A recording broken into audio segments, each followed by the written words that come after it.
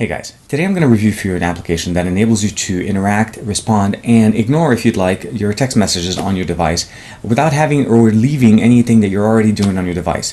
It's a great way, it's free, it's available on the Play Store, and it's also available for direct download through the XDA thread. Let's check it out.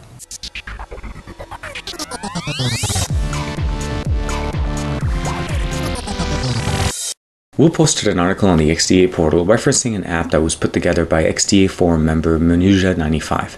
The app is called Floating Texts. What it does essentially is provide you a notification style text messaging alert that enables you to respond to these messages anywhere you are on your phone, be it a video, looking at pictures on Instagram, anywhere. It just pops up at roughly where your uh, navigation bar is, right under it. You're able to respond. It's customizable, it's free. Let's check out the thread. The thread gives us just an explanation of what the application itself and what it does. It's available as a download straight from the actual thread right here. Just follow the link, or you can go to the Google Play Store. Let's check it out on the device. We'll go ahead and download the application on the device. Go ahead and install it. It gives you the icon. We'll be able to launch it. The interface itself is very simple. It's actually a one page. There's no additional customization available. By default, it comes in turned on with the Holo Light features. It looks a little bit washed off. I like to go to the Holo Dark side. And um, overall, the actual settings are pretty simple. You have it on, you can turn it on and off, you can set how long the duration of the alert comes in. Random alert colors are basically if you want to just have it be creative and keep changing every time you turn it on. Uh, disabling the ability for it to disappear, it will, it will basically stay persistent in front of you uh, as far as an alert till you respond to it. You're able to contact the developer using this uh, middle section. The new features, or at least the update that just got released today as I was in the process of getting ready for this review, is the ability to change colors outside of just the three three main colors, which is the blue, green, and purple. Um, you probably have seen these things maybe on, on the article picture that we put out. Uh, overall, I like the Holo Dark theme, and you're also able to go in and customize the multiple colors. Of course, you can go really funky and go with all the many things.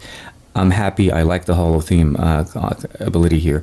You're able to customize the font, the solid color, and then again, so you can go in and change to your heart's content there. I'm happy with white. I just want it to be consistently a good color to be for me to be able to read. Um, other than that, actually, overall, the settings are pretty simple.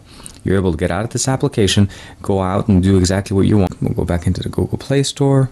And as it's loading, uh, you guys will notice, oh, we just got a text message. We'll be able to hit reply and just say, great so far. Send. It's done. We're gone. We'll just say okay. Overall, this is the, uh, again, I don't know if you probably have seen this, this is the latest update to the Google Play Store. We're able to see just the main updates here and go ahead and work with it. The app works very, very nice, and it, it just works very, very well in the way it, it did implements the, uh, the work on it. It doesn't intrude to your phone, it doesn't intrude into the system, and then as you can see here, it comes back again.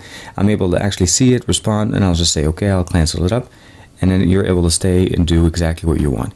The app installs and runs very nicely on your device. I find it very simple. It supports Android 2.2 and up.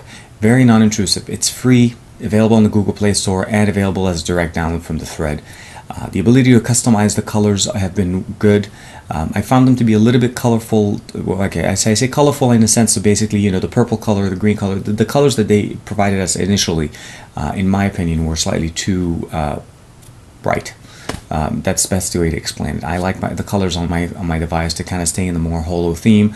So uh, the new update that got pushed literally in the middle of filming this video or getting ready for this video um, was actually a very nice surprise and made me change my opinion about the application actually almost entirely. So I've converted over to the Holo, the uh, Holo theme and it works very nice. Again, it's a free app. It's available in the Google Play Store. It's not intending to replace any of your major applications. So if you have Paranoid Android, if you've used SMS before, this is not a replacement for it. This is another option if you want to go into the free option available through XDA, supported through XDA, and obviously supported by the developer uh, that's pushing out updates very quickly check it out. Let me know what you think in the comments below. I'll give you some links in the description as far as how to get access to this application. As usual, like and subscribe to this channel, like and subscribe to mine, please. Uh, and I will see you guys next week. Uh, kind of a heads up, I'm looking into starting a new uh, series on Tuesdays, so you'll start seeing some new, uh, and I'm calling them the Xposed Tuesdays, so it'll be focused more on the Xposed framework um, applications available on the on XDA since we've had such a flurry of them recently. So I'll see you guys next week.